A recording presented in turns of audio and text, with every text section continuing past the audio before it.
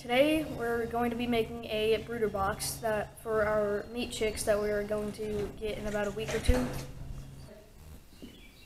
For the brooder box, we are using four foot long uh, pieces of OSB, and they're eight, approximately 18 inches wide.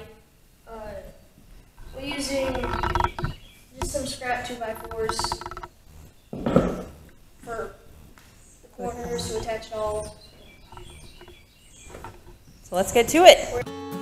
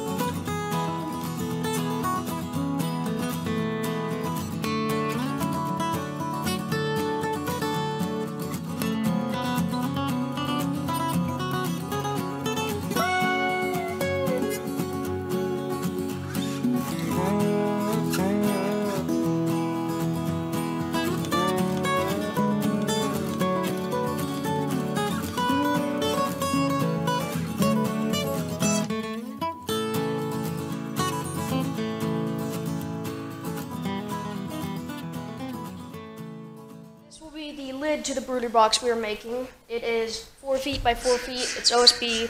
Um, the hole in the middle is 30 inches by 30 inches, uh, or three feet, three and a half feet by three and a half feet.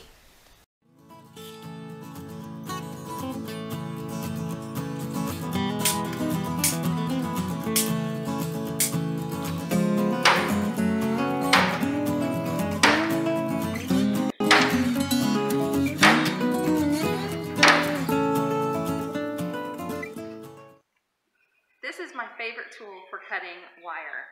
It works really well on this hardware cloth as well as chicken wire. This was actually designed as a hoof trimmer tool for sheep and goats. I cannot remember which website I bought it off of. But this is one of my older ones, so it's you know a little too dull for the animals, but it works great for wire. I don't know if you can see that little name on there.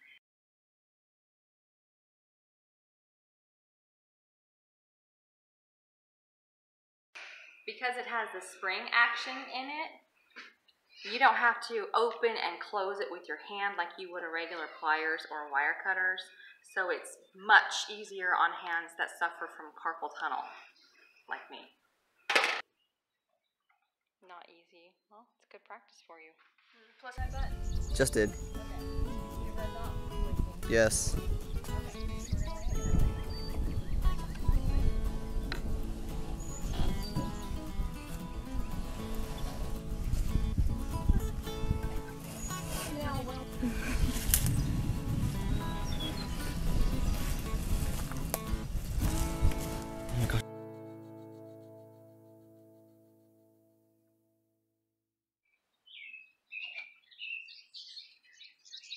Works great.